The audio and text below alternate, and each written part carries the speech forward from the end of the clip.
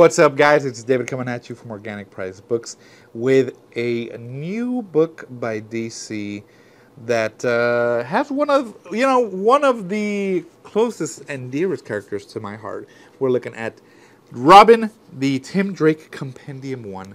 Now, if you're a Batman fan, then you know uh, Tim Drake is the second or the third iteration of Robin. Of course, you got the Golden Boy, Dick Grayson coming in as probably one of the most uh, charismatic and legacy characters of all of DC. And then, of course, you got the anger of Jason Todd. And then, of course, the tragedy of him being killed by the Joker. And then, of course, came in Tim Drake, who figured out Bruce's identity uh, without, uh, you know, he, he, he was able to deduce it himself. So, you know, each of the Robins, I think, brings something uh, special to the dynamic duo. Dick, of course, was the acrobat Jason was the, uh, I would say, like the anger, the attitude, and Tim, I think, is the brains. Damian, of course, is a little bit of everything, but yeah, definitely dangerous. But Tim, to me, is, is the one who I would say is the best detective of all of them, uh, who was going to take that role of detective, you know, from, from Batman's, you know, uh, the Batman thing, like he takes that detective aspect uh, more than the other ones. Uh, so I always thought Tim Drake was was a really good Robin, and uh, you know he had a lot to live up to, and I think he definitely uh, portrayed a Robin in a different style that than than we've seen before. So let me show you this book. Here is the front, spine, and the back. Very cool, and I always liked his costume as well. It was very, it was different. The short sleeves, definitely more, more. Uh, not high tech, I would say. It was more like uh, modern. Yeah, more modern, I would say. Uh, so it's really cool. There's some designs in here of, of, unused costumes for him.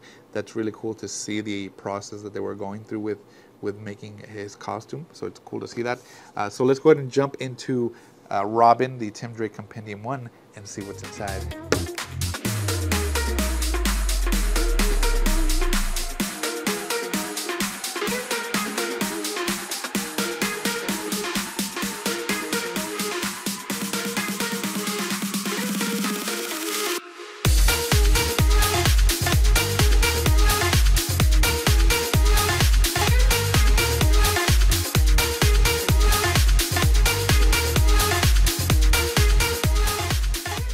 Right, guys, let's go ahead and take a quick peek at Robin Tim Drake Compendium Volume 1. And then, of course, uh, you know, this is, have you bought compendiums from DC recently? You have this like semi-matte, semi-gloss matte.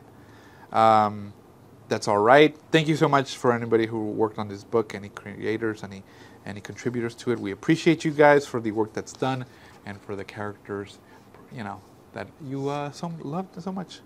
But uh, yeah, like I said, uh, these these would be great. This would be great as a hardcover. Don't give me don't you don't have to make it an omnibus. Just make it a hardcover. I would I would love that. Um, you know, but pages are looks like numbered throughout, which is great. Uh, this comes in at 11, 1103 pages, so it's it's pretty good size.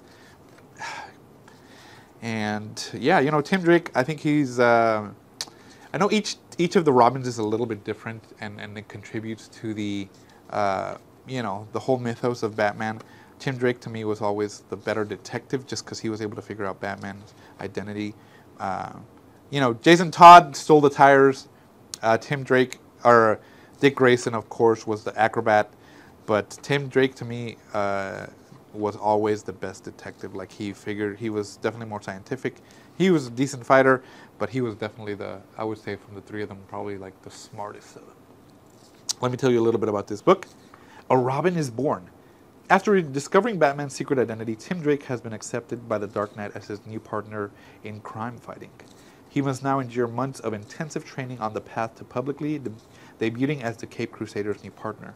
Given an all-new high-tech costume and the encouragement of Nightwing, the former Robin, Tim is ready to finally uh, Tim is finally ready to don the identity he was born for presenting Tim Drake's first adventures. Robin Tim Drake Compendium 1 collects Batman number 455 through 457, 465 through 469, 480, Detective Comics 618, 621, Robin Volume 1, 1 through 5, Robin 2, The Joker's Wild 1 through 4, Robin 3, Cry of the Huntress number 1 through 6, Robin Volume 2, number 1 through 5, Uh, the, the, Robin Annual number one and two, Superman Volume two number seventy, Superman the Man of Steel number fourteen, and stories from Batman 80 page giant number two and Showcase 93 number one through six, number 11 through 12 from writers Chuck Dixon and Alan Grant, artists Tom Lyle and Norm Breyfogle, and many more. Very cool.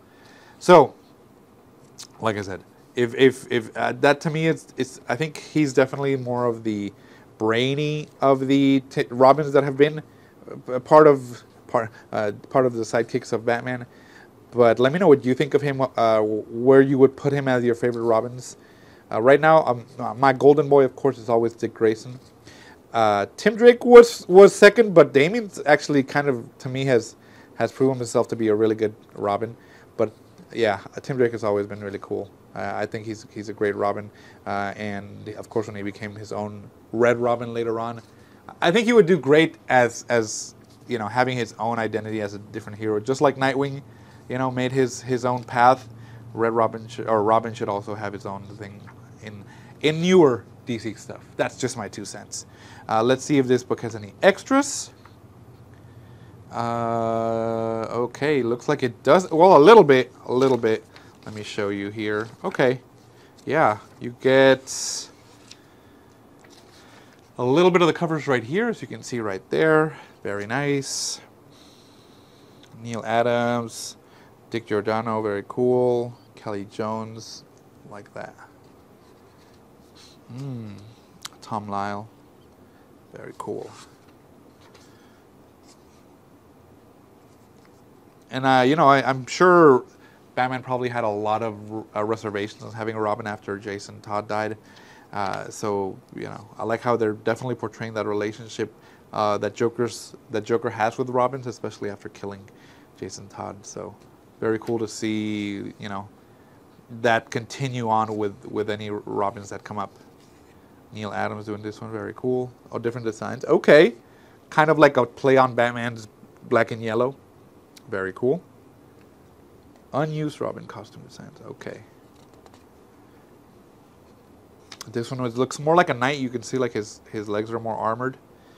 A bandana here, definitely part of that 90s style, you know, like guerrilla fighter almost like that. This one with uh with it's almost like the same style, just with more color instead of like the black and white, black and red. This looks more like the Red Robin design after he you know, in the new 52. This is too much like Superboy, you know, with the with the vest. Da- uh, Damian, of course, taking the hood uh, later on whenever he came back. And final Batman and Robin design. Very cool. There you go, guys. So that is Robin Tim Drake Compendium 1. Let me know what you think about it. Let me know what you think of Tim Drake. Check it out Organic Priced Books, guys, and I will see you in the next one.